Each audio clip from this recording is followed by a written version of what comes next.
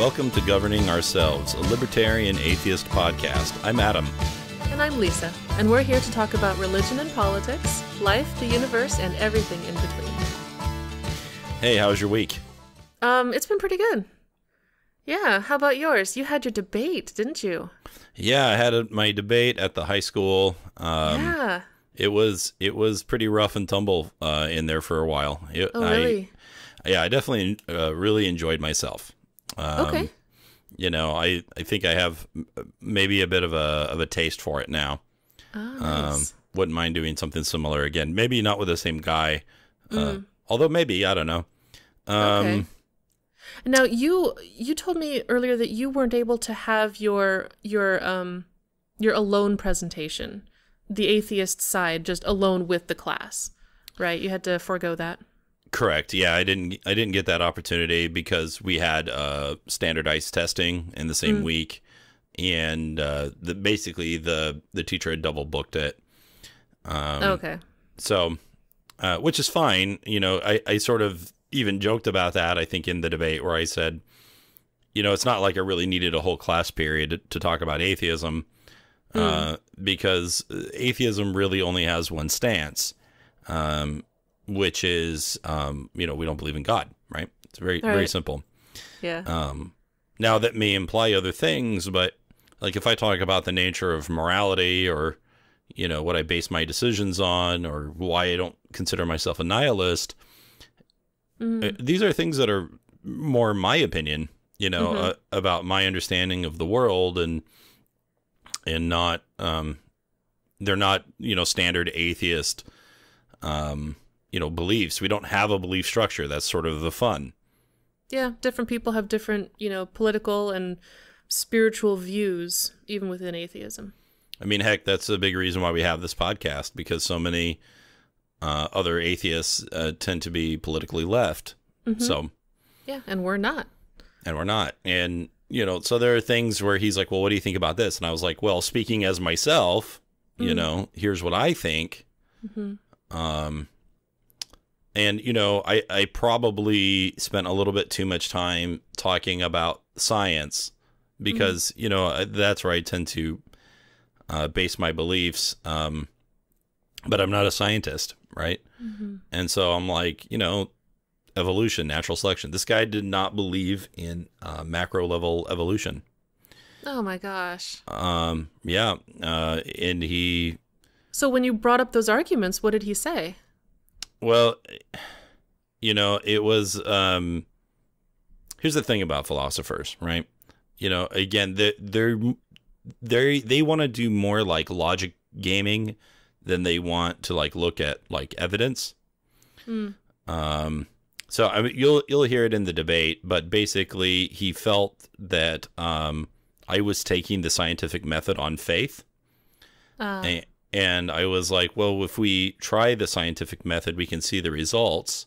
uh-huh. Um, he's like, yeah, but we can't use the scientific method to prove the scientific method, um, Oh, because so that would circular logic. Right, because it would be circular reasoning. And I'm like, but I'm not using the scientific method directly to prove the scientific method. I'm using the technique in a different experiment, in a specific experiment, to find out if it indeed works. hmm You know, it would be like, you know, if you want to say that the Bible is true, then you could read it and then you could try out something that it says. And then if it works, then perhaps that could mean something. Mm. Right.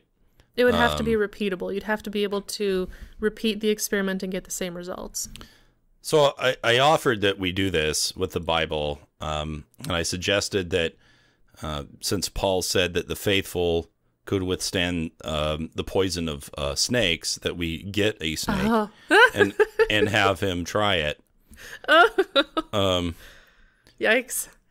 yeah, we, I, I admit I did not have a snake at the time. That's that's Uh, good. That's that was- probably fine. That was a bit of a bluff. I think you saw through that. Yeah. Um, you know, I I think the students were largely with me from the beginning. Mm. Um, you know, so all I had to do was kind of not screw up super bad. Um, right. but I, there are places in the debate where I felt like I definitely got hit a few times. Uh, Um, I think I bloodied him a little bit. Mm-hmm. Um, you know, the thing about debates is there's not typically a clear winner. Mm-hmm. Um, You're tossing ideas back and forth. Right. And if if you you know are a strong believer in God, then I probably came off really bad. And if you uh, although I did have one girl tell me that um, he made her not want to be a Christian anymore. Oh my Uh, gosh. Um, Really? Did she say I what I think she was being somewhat- argument? yeah. uh, Well, he spent a lot of time on the ontological argument, and and Like you ont- thought he would, right? like I thought he would, and and you know as I was told he would. Um, Mm-hmm. Okay. You know, and I just don't think that that argument is very convincing to most people. Mm. Um, I mean, even the guy who set up the debate, who is a Christian, Mm-hmm. he says, you know, I, you know, I have my Christian beliefs, but I, I don't think the ontological argument is terribly convincing. Um, and, And so we, we went too much back on, on, yeah, we we did spend too much time on it, and um, there were about five questions. I think we got through like 3 Mm-hmm. um, and one of them we basically just kind of skipped over. What were the questions? I mean, I guess I can find out because we'll be posting the debate as well because you were able to record it. Yeah, I'm looking forward to seeing it. I Yeah. haven't seen it yet. So um, he asked I do not um, edit it, so I'm not going to. Okay, fair Um, enough. I just had to make little edits, you know, in that when we were doing our intros, um, the announcements came on, Oh, okay. and, and so hopefully he'll he'll forgive me uh, for that. Um, be sure to be sure to type in the description that that's what you did. Um, just so you know, if he's like, "Hey, there's an edit there," you can be like, "Yes, but this is what it was." Right. Yeah, just for um, just for transparency's sake. Yeah, he got through his his entire intro like this is who I am. And then I started talking and the announcements came on. So I think there are there are moments where I don't perform quite as well as I would have liked. Um and so Which areas? all that stuff will stay in. Well, when I got onto things like trying to explain natural selection, when I try to explain um you know, uh, you know things like evolution, science, you know, I just wasn't as tight on that stuff as I could have been. Okay. Um, you know, because again, I wasn't going in with the idea that I'm going to argue from the point of view of a scientist. Mm-hmm. Um, so there were moments where I, I feel like I perhaps reacted too much to the questions he was posing as opposed to like reframing them or to, you know, driving the conversation where I wanted to drive it. Mm-hmm. Um, there are a couple of moments where I do very well, though. Um, for instance, I say, you know, I, I'm not sure where morals come from, but God is a very bad example of morals. Mm-hmm. Uh, so I don't think they come from there. Um, and you know, I make the the claim that um, you know God, uh, you know, is a monster who supports things like kidnapping and rape and murder Mm-hmm. um, and slavery, and he's he's he basically says, "I don't think you can show that." Oh. And so I pull the, my Bible out of my backpack, Uh huh. and it's all tagged up. Um, Right. and I just read a passage, you know, and Mm. you know, but his rebuttal really, um, it was the exact reason why I have such a hard time with Christianity, but with religion in general, is that he says because God is the source of all morality, you know, anything that he asked them to do was righteous. Mm. And that, and I'm like, listen, dude, I may not be a highfalutin philosopher like you, but you know, I'm just gonna go with slavery bad. Mm-hmm. And if you think slavery is fine, then we're just gonna have to go ahead and disagree on that. Right. Because you will not agree on that one. No, I don't. Maybe I don't. I'm not an expert of where morals come from, but um, I think slavery is wrong, and I think it's wrong no matter who does it. Yeah. So Yeah. No matter who commands it. Yeah. Well, and I've heard other Christians make excuses for the Old Testament by saying, well, when Jesus came, he, what is the phrase? Like he fulfilled the Old Testament? yeah, he fulfills the law of Moses. Okay, yeah. And so basically that's them saying anything that's in the Old Testament like that that's, you know, really highly disagreeable, it doesn't matter anymore because Jesus. Yeah. Um, But that's he, still he not didn't go very that way. convincing. Oh, okay. Well, uh, this guy did not make the excuse about the law of, of Moses uh, being old. He said, Okay. no, all of that is totally justifiable. Oh. So, eh. Okay. So um, I think one thing you'll notice is i when you listen to it, I, I'm the one that gets aggressive. Um, Mm. I'm the one that gets a little riled up, and, and I may have gone a little far at parts. Um, okay. But you know, shit like that gets me riled up. You know, what can I tell Yeah. you? You're passionate about it. Yeah. Okay. Were you able to just sort of take a deep breath and calm down a bit? I was I was trying to control my breathing a little bit more. Mm. Um but I don't know, I think I was foaming about halfway through. um still we so is a- that some is that something you wish you would have been able to control a little bit more? Yeah, I wish I uh, could have done a little bit better at that. There's a lot of places where I feel like I could have done better. Mm. Um but I um I don't know, you know, it was my first real you know, attempt at that sort of thing. Okay. and yeah, I was just going to ask if this was your first debate that you've ever had. You know, I, I did some debate in high school. Um, I wasn't Oh. particularly good at it uh, because I didn't care. Mm. Um, I didn't really develop an interest for politics till much later. Mhm. Um, you know, so I know I I would say for all intents and purposes, this was my first real debate. You know, and you know, talking to your family or your friends, um, you know, first of all, you're you're not going to come at it with the same kind of energy. hmm You know, I'm not going to attack my dad or my mom like I attack this guy. Yeah. You know, I'm just not going to talk to them that way. You know, and of course they they can't come back at me with very much because they're that's not their thing either, Mhm. right? They're just they're more just sort of emotionally concerned. Yeah. Right. Yeah. They're not approaching you with the idea that we're going to have a debate about this. No. And some families are different. You know, some families, they debate and argue about religion and politics all the time. Yeah, I think those are called Italians. I don't know. Uh, so, um, you know, but we we ended it friendly enough, and um, you know, we shook hands. He invited me to come watch his class. Mm. Um, I may or may Will not do that. Okay. Yeah, I'm thinking about it. You know, it to you know the one of the people that some of the people you can really learn a lot from, of course, are your opponents. You know what I mean? Like if Right. you have if you have really strong opponents, then you can get really strong. You know. Mm. Um. So, but if we just kind of hide in our bubbles, you know, we'll never grow. Yeah. You won't grow as quickly anyway. You know. Plus, he he kind of stepped into my den a little bit. You know, I probably could step into his. Mhm. even though it wouldn't be a debate format, it would be literally me just watching him teach philosophy. Sure. Um, Well, a lot of a lot of libertarian atheists, um, they like philosophy. You know, they they like just thinking about how things could be or how things might be. You know, for me, I I choose the more scientific route. I guess you know, I Right, yeah. I prefer to find out what is because there's so much that we humans have figured out about what is that I personally don't know yet. Um, but a Yeah. lot of people love philosophy. You know, they just love debating ideas. And yeah, it, it couldn't hurt. Couldn't hurt to just sit and see how it goes.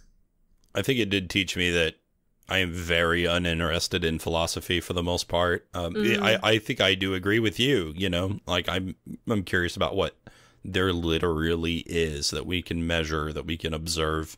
Mm-hmm. Um, you know, even if our emotions and our morals essentially come down to brain chemistry, you know, we still have to recognize that that is the world we have, not the one we want necessarily, right? Mhm.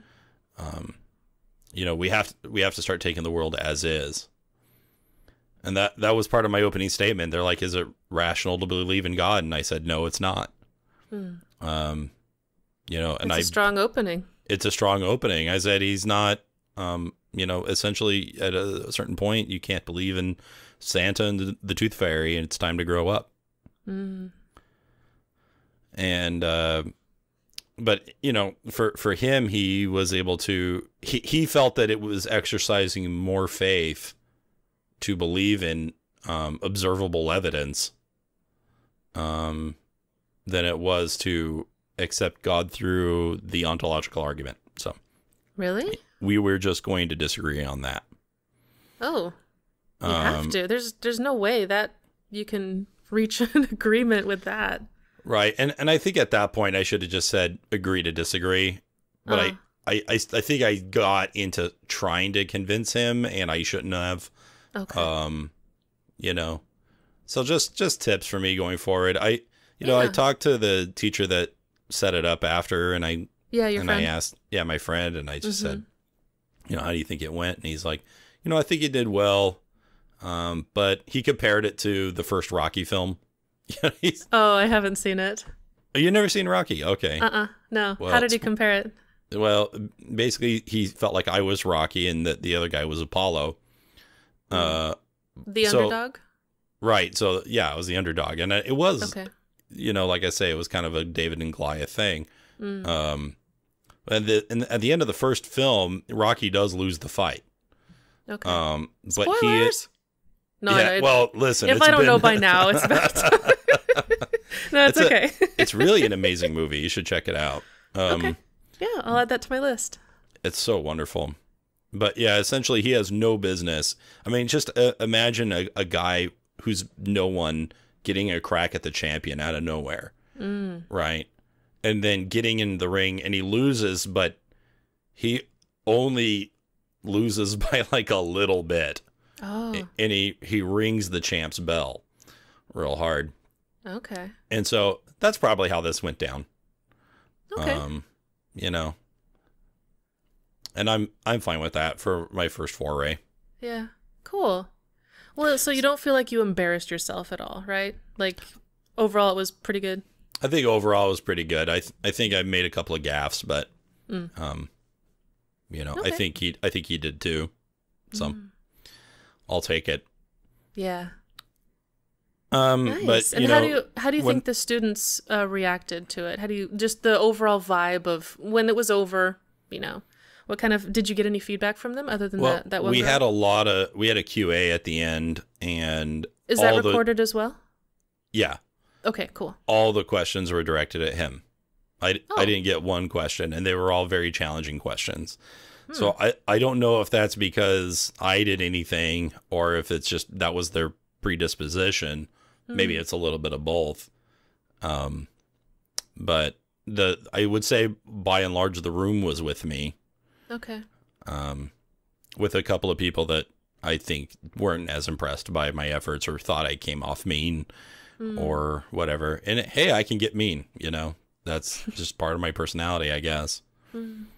So So, uh you checked out conference this week though, right? No, I tried to. Um, at first, well, last week I um, I tried to look at some of the the articles. They weren't up yet. The the text of the talks, and I tried to watch some of the videos, but for some reason it wasn't working. So I don't know if it's their website or if it's just my script blockers. I don't know. Um, but so I couldn't watch them, and then I got swamped with other stuff. I've also been reading a lot about just current events. You know, religion and politics mostly this week. So Right. I've made a list of the different um, the different political topics, the the current events that I'd love to talk about soon. So yeah, yeah, a couple podcasts of uh, episodes of just catching up. You know, since we've started this podcast, what's happened? You know, political, religious in the past, you know, few months or so. Okay. Yeah. Uh well, one big thing in the news recently has been um uh, the arrest of Julian Assange, so I wouldn't mind talking about that. Right. Let the Um, listeners know who that is. That is. Uh, he's the uh, uh, founder of uh, WikiLeaks, and uh, you know he has released a lot of um, sensitive information that um, various governments, but particularly the United States, you know, have not wanted him to release. Um, He's most famous I would say, for the leak that he produced um, with uh, Chelsea Manning, who was Bradley Manning at the time. Um, and that's where we get that video of U.S. soldiers, you know, essentially committing war crimes. Hmm. Uh, and I don't know if you ever saw that back in like the early 2000s. No. Um, but I did. It was hard to watch. Um, but basically, um, you can see why people where we're occupying don't necessarily see us as saviors. Hmm. Um, Who were the soldier? Where was it? Um, I'd have to go back. It was, I think it was Afghanistan, but I'm not 100%. And was Um, it U.S. soldiers um, Yeah, physically just- violent with the locals? Yeah, just shooting. Like the the video I remember watching was this guy in a bus, and he's driving somewhere, and they think that he's a terrorist. Um, and so they, you know, they're asking for confirmation to shoot this guy, and, and they get it, and they kill him, Hmm. and you know they're they're sort of cheering and that sort of thing, and um, you know, it turns out he was just like some dad driving his kids to school. Oh gosh. Yeah. So, And so, Julian Assange, he's the one who leaked that video, right? so uh, technically, uh, the person that got the file was um, Bradley Manning, who was in the military at the time, Mhm. and uh, then he gave it to uh, Julian, uh, and he released it on WikiLeaks. Okay. um, as I understand the story. Now, it's worth mentioning that um, Bradley Manning uh, is now Ches- Chelsea Manning because, Mm. um, you know, she had a operation. Okay. Um, but you know, it's worth mentioning his old name, uh, her old name, uh, in order to, um, you know, help you search for it if you want to. Okay. Um, Is Julian Assange, is he American? uh, he's Australian. Oh. Uh, but he was um, he's been in England at the Ecuadorian embassy, Oh. um, and they just um, uh, basically the the Ecuadorian embassy decided they were not going to protect him anymore. They were no longer going to give him asylum. Mm. Um, and so they released him to British authorities who arrested him.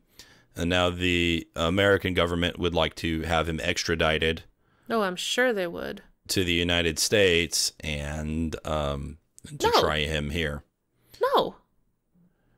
Well, you know, I'm with you.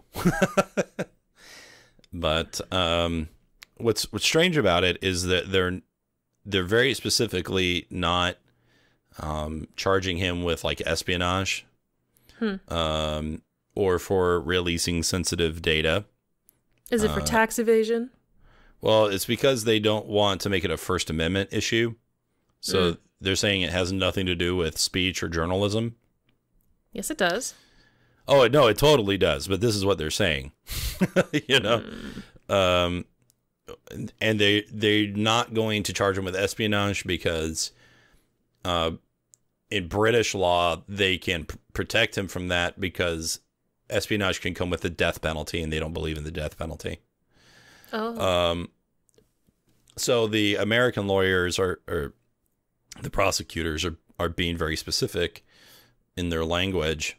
Mhm. What they're actually charging him with is hacking. Hack. So hacking into like um, Pentagon, Okay. right? So, um, Did he? well, I guess we'll find that out. I tend to think that he's not the hacker. He is the receiver of information from hacks. Okay. Um, but it, you know, I don't know, maybe. Hmm. Um, but I tend to, you know, and I think a lot of libertarians probably feel this way. Um, you know, I tend to side with um, whistleblowers of all kinds. Mm-hmm. Um, I definitely do. yeah, I'm definitely on Team Snowden, um, and I'm on Team Assange. Mhm. Um, I would like to see him not get extradited. I would like to see him get freed. Yeah. Um, Donald Trump was a big fan of WikiLeaks and uh, Julian Assange during the campaign because he was releasing, um, you know, stuff about Hillary. So because Oh, it was, it bad the, for was his it the shenanigans with with Hillary and uh, Bernie Sanders? yeah. Just the whole, you know, the whole Democratic Party stuff. So as long as it was attacking Hillary, you know, Trump was definitely for it. Hmm. Uh, but now that he's been arrested, they're saying, "Hey, Trump, what do you think about this?" And he's like, "Well, you know, I don't really know that much about it, and Hmm. it's not really what I'm into, and Just trying Yeah, to stay out of it. we're just gonna let the the the law do its thing." Hmm. So it's like just completely disavowing that he was, you know, he made public speeches in full support Hmm. of WikiLeaks in the past. But, you know, my thinking is that he never really understood what it was in the first place. All he knew is that it was something bad for his opponent. Yeah, I don't know. It's hard to know what he's thinking unless he's typing it out on Twitter. But Right. yeah. So that's been going on. Um, I I do think that I don't think that they're truly wanting to get at him because of hacking. I think they want to get him because of what he's revealed and because of what he said. And I think Oh, that they want to send a message that you know whistleblowers are not going to have a good time, and they don't want that to happen. Yep, absolutely. So they can say one thing, but we I think we know what's really going on. Yeah, everyone does. Yeah. They're not fooling anybody. Now, it's worth also mentioning that Julian Assange has released, um, you know, data that's damning for both sides. You know, he, he hasn't, he, he's not like a Republican shill, right? Mm. You know, he uh, did things that were not good for the Bush administration. He did things that weren't good for the Obama administration. Um, He does not discriminate. no. In fact, um, you know, uh, Bradley Man, Chelsea Manning had received, um, I think it was like 25 or 30 years in, in prison. Ooh. And, um, what was it? Uh, Because Obama, of that video? Obama commuted his sentence or her sentence. And so she's already out. Oh. So, uh, you know, at least um, Chelsea Manning had some sympathy from the left. Hmm. Okay. Um, So if if you go back through the old news articles and stuff, you can see, you know, where the various sides hate on Julian Assange, Hmm. um, and where they and where they praise him. And again, it was just really a matter of the enemy of my enemy. Yeah. So well, we'll what I- definitely keep an eye on that and find out how that goes. yeah. Yep, and we'll be covering other um, other political news. Um, we may take one at a time and just do short little episodes, or we may cover a few in you know slightly longer episodes. We'll see. But yeah, Okay. we wanna we wanna get everyone caught up on on all the news. Right. And then, you know, even if this episode today is pretty short, I mean, I'm going to post that um that debate as long as uh Lisa says it's okay. And and then um so that I'm working be on trying to get our YouTube videos together so I can post those along with posting these episodes to iTunes. So I'm I'm just trying to get everything coordinated first. I think some of the students took photos of us talking so we can use those for stills. Sure. Okay. Well, um I think that's all we're doing this week. Mm-hmm. You know, pretty short stuff. For us. Um, For us, right? Yeah. Uh, well, we have plenty from last time. Um, yeah, should be should be plenty to listen to. Uh-huh. All right. Well, uh, let's see. If you want to, uh, you know, check out our feed, we're at, uh, you know, governingourselves.com. You can go there and check out all our episodes. You can also uh, download us on uh, iTunes and Stitcher. Yep. Um, and we're on we're on YouTube at Governing Ourselves and Facebook and Twitter of the same name. correct. Yep.